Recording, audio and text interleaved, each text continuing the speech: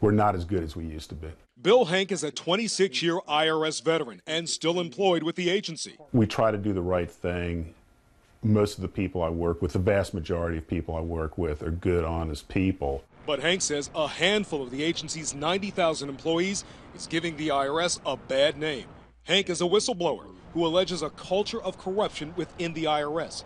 He reported his concerns to IRS officials, even took them to Congress, but he says no corrective action has been taken.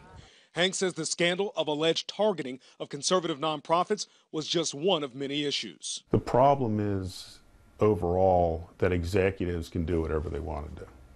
And they do a lot of stuff simply because they can. Henck says he reported two major scams involving tax credits for businesses.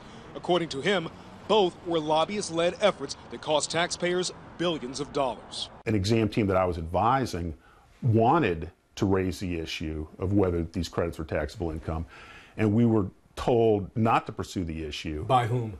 By uh, the Associate uh, Chief Counsel for Income Tax and Accounting. So it was a high level Chief Counsel executive. We found him very credible. The Government Accountability Institute believes Henck's calls for more accountability are legitimate. What he's really showing in his revelations is that we have an IRS that's not really uh, being governed by our lawmakers. Those who monitor the government for accountability and waste say the corruption that attorney Bill Henck alleges within the IRS is a symptom of a much larger problem. While not talking about Henck's claims specifically, U.S. Senator Tom Coburn believes greater transparency is needed regarding all of the IRS issues. Transparency is the thing that keeps us together because it's the thing that enforces the rule of law, and it, it also means the equal enforcement. Henck says he has no axe to grind. He just wants to do the right thing. I think I have a legal obligation to do it.